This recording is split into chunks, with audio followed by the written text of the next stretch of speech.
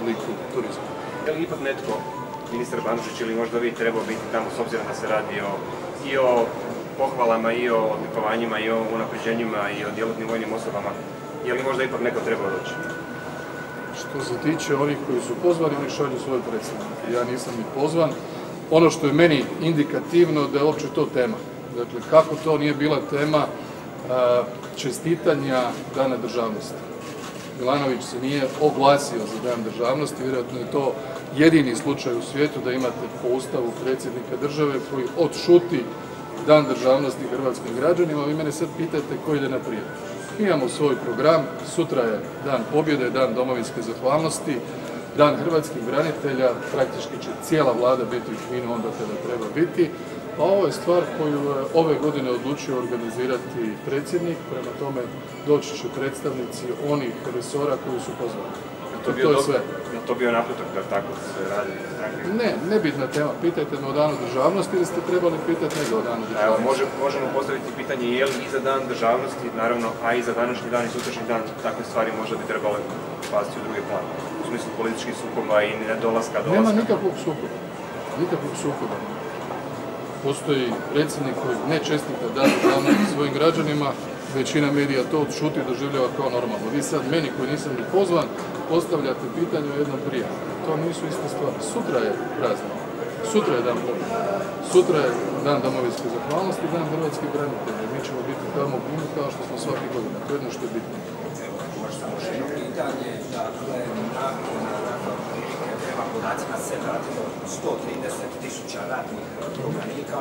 Jučer izjavio Milorad Pupovac kako su sela i dalje usta i jedni smatrate da je vlada do sada dovoljno napravila da bi se ti ratni prognanici jeli, vratili nazad u Hrvatsku. Mislite na izbjegle Srbe? Tako. O njima govorite? Tako.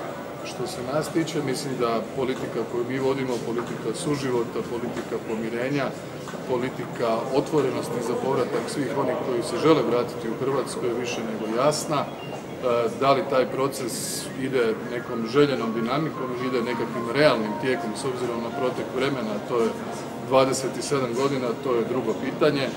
Hrvatska je danas riješila sve svoje nacionalne zadaće, e, članica smo i Europske unije i NATO-a, želimo da svi naši sugrađani žive u, po najvišim civilizacijskim standardima, zato imamo posebne programe da upravo ona područja koja su i dijelom područja koja su bila okupirana e, od strane e, JNA, dakle velikosrpskog Miloševićevog režima od 1991.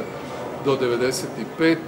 da na ta područja, osobito u zabačena sela, stigne i voda i struja i da nivo života bude onakav kakav je u većini hrvatskih gradova i općina. Gospodine predsjedniče, hoće li biti sutra e, članova vlade predstavnika Srpske nacionalne?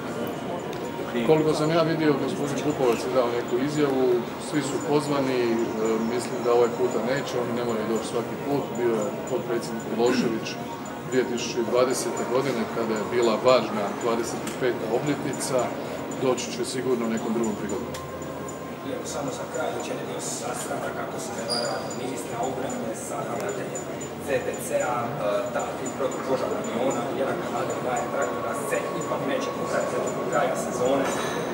Smatrate li da ravnatelj treba preuzeti odgovornost, kakva je ta situacija, kakva je situacija Ravnatelj čega?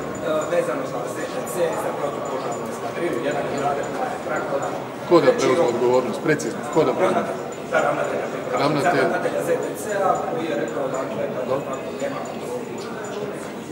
pa dobro, ja nisam stigao to gledati jučer, ono što je bitno, bitno je da iz ovoga što ja vidim e, ove godine za sve situacije koje smo imali, a ova je protupožarna sezona puno zahtjevnija nego lanjska, puno više požara, e, postojeći kapaciteti od četiri kanadera su bili dovoljni ne samo da riješe sve požare u Hrvatskoj, nego da pomognu na nizu požarišta u Bosni i Hercegovini, praktički jedan cijeli tjedan, ja sam bio u komunikaciji sa slovenskim premijerom Golobom, su naši kanaderi gasili požar u Sloveniji, air traktori također pomažu, sve vatrogasne postrojbe su angažirane.